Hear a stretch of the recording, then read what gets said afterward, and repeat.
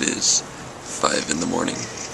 I've been here, or I got here, driving here to the airport at 3.30 in the morning. And this is where my journey begins. I'm in the Edmonton airport, heading to Seattle.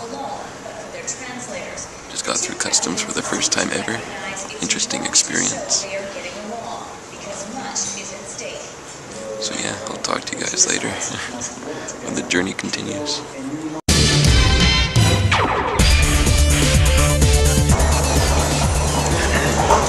Guys, I am in Seattle now. It's a lot more awkward than I would want it to be. There's lots of people.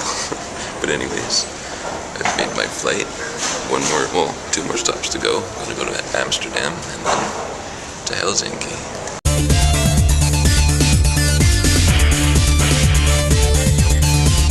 Moi kaikki. Olen takas ja tervetuloa mun huoneistoon. Se on aika pieni ja vanha paskapaikka, mutta tässä se on. Tässä on mun lepovi. Tässä on mun kylpyhuone. Ja mun olkkari. Mun televisio. Mun ikkuna.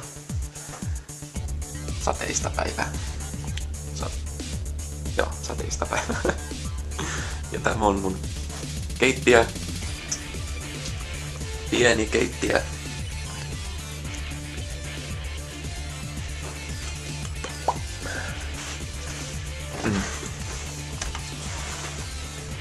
Tässä on mun sänky.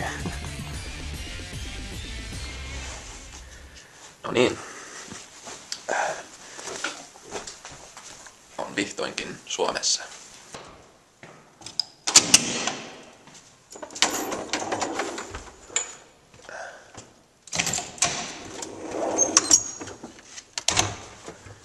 Sieltä.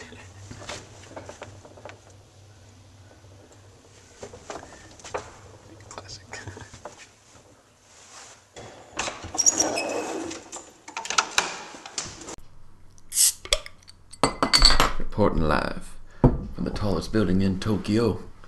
Not really, but anyways, um, you may have noticed that I sped up those last couple of clips because I didn't want to make this too long and too boring. But uh, here I am in Helsinki. Wow, what a great experience this has been. Found it was very picturesque. this is shitty. Like you can basically just uh, take a camera, hold it up, take a picture of any like random street, and it would look great. It would be a very beautiful picture. It's a beautiful city. Unfortunately, I didn't take a whole lot of video footage, but um, I did take lots of pictures, and you'll be seeing a few in this video.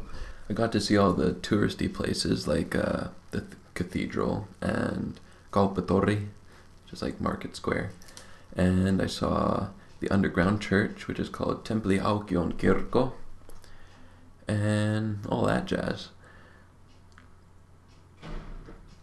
And I actually did get some video of when I visited some relatives in Kuopio. And wow, that was a really beautiful place too. The yard was surrounded by trees on both sides, so you never see any neighbors. And they had a sauna on the edge of the lake, so you can like jump in the lake and cool down from the sauna. Just good stuff.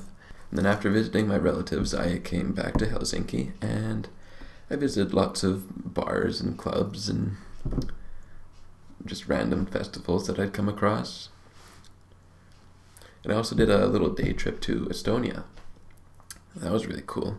I really enjoyed this one place there, and it was like a very medieval themed restaurant and store. And I had a little honey beer there and like a little homemade tankard. it was really cool. So basically, to sum everything up, I loved it here. Great experience, first time traveling out of the country, and hopefully not my last time.